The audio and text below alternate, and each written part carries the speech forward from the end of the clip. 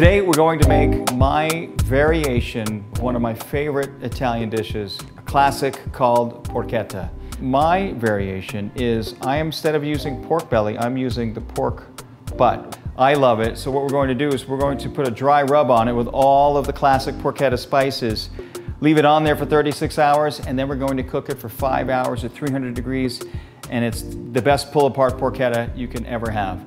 So we'll make the brine, and the brine is a vegetable brine. It's a cup of champagne vinegar, or it could be any vinegar of your choice. Do a half a cup of white balsamic, and I like white balsamic because it's got this, it's a fruity aroma, right? So white balsamic has a fruity aroma. If you don't have it, just use champagne, it's fine. And then we'll put three quarters of a cup of sugar, three quarters of a cup of water, and then our herb sachet, which is bay leaves, star anise, cinnamon sticks, and peppercorns. And I tie it up in cheesecloth.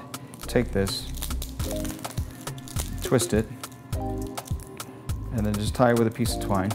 And this adds beautiful aroma to it. And what we'll do is we're going to bring this to a boil, cool it, and then pour it over our sliced vegetables. Now, today I'm using onions, carrots, peppers, and fennel, and Fresno chilies, which I love. The important thing is you cook it, simmer it, cool it, and then pour it over whatever you're pickling. It could be anything. So we'll take a pepper. And so what I do is I just cut it in half, grab the core, and just pull it out and trying to get minimum waste here. You can cut them smaller, you can dice them, you can oblique cut them, you can diamond cut them, whatever you want. Today I'm just going to slice them. So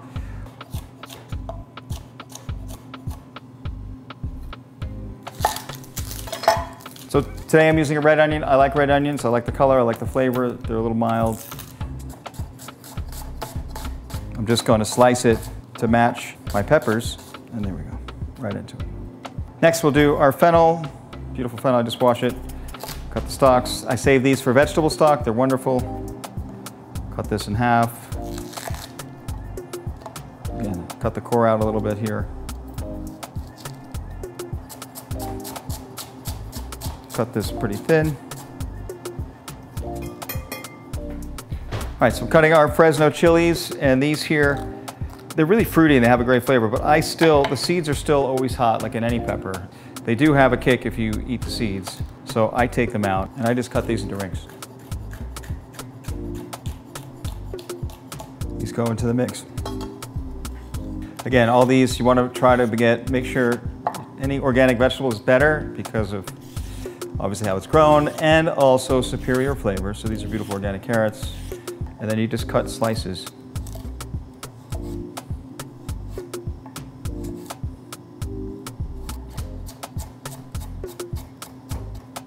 All right, our stock, our pickle is simmered. We're done. I'm gonna pull this aside now, let it cool, and then we'll pour it over the vegetables later.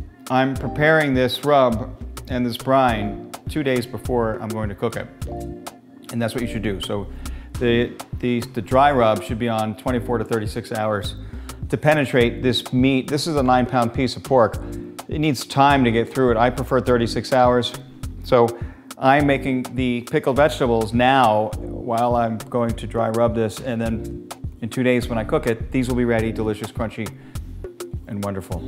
Okay, so now we're going to make the dry rub for the porchetta, which is really interesting in particular. So I have chopped rosemary, chopped fresh thyme, quite a bit in ratio, okay? And then lots of chopped garlic. We're going to put about a quarter cup chopped garlic. We're going to put salt, a third of a cup of salt, two thirds of a cup of sugar, and this is the dry rub that's actually curing the meat. That's what we want. So we're going to stir this with a spoon, and then we're gonna poke holes in the meat and rub it all over. We're not done. Here I have black peppercorns whole. I always use fresh.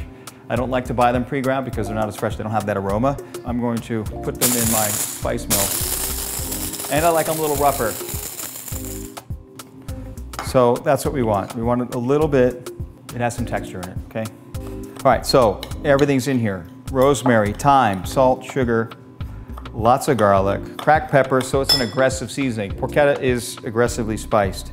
Well, now the final product. So you can either A, get fennel seeds, which you can find everywhere, whole, whole, put them in your spice mill uh, after your pepper, grind them up, put them in here, or break them with the back of the pan, right, to release the oils. This is imported from Italy. It's called fennel pollen.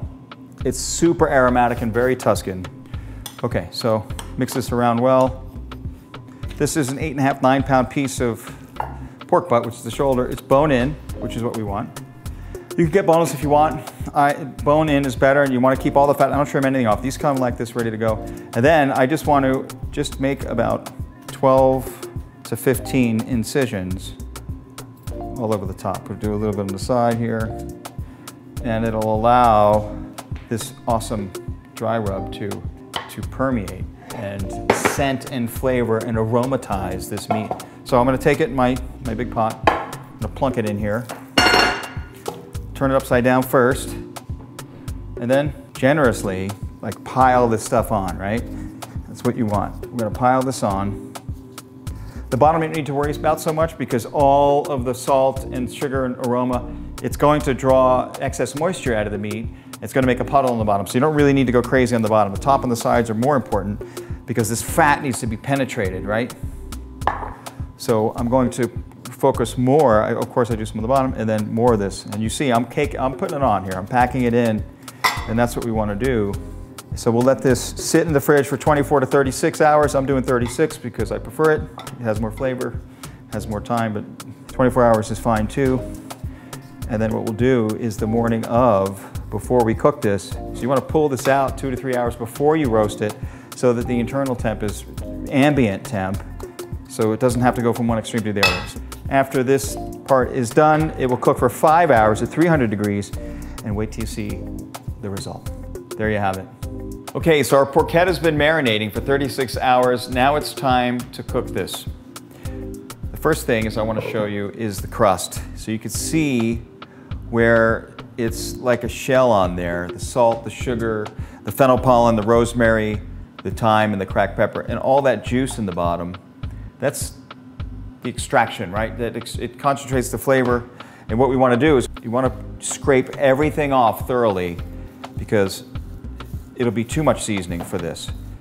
So now I'll take this, that's good. You don't need to worry about it. You don't need to rinse it off or anything. But this is what you want to clean out. So this, I cook it in the same pan that I marinated in. You can use another pan if you like. I'm going to just wash this out real quick put the roast in, and then we'll cook it. Now our pan is clean and the pork is scraped and ready to go. It's important, I wanted to show you this. This is the bottom, which was the bottom when we marinated it for the last 36 hours. And here's the top. This is the fat cap. You want the fat cap on top. So as it cooks, it melts and bastes naturally the roast. All this wonderful fat will melt into the pan and I'll show you periodically. I'll be basting this about every 30 minutes. Cook it at 300 degrees. I put the convection fan on, which means there's air moving in the oven. 300 degrees is, is relatively low. It's important that you pull this roast out because this weighs eight and a half pounds. A couple hours before you cook it, you want the meat to temper, meaning become more like the ambient temperature so it's not ice cold in the middle when you put it in because then it will cook unevenly. So we're going to cook this 40 minutes a pound is my approximate measure at 300 degrees depending on your oven. So this will be about five, five and a half hours, and I'll show you along the way. We'll baste it every 30 minutes with the fat that's going to come off of this, this roast.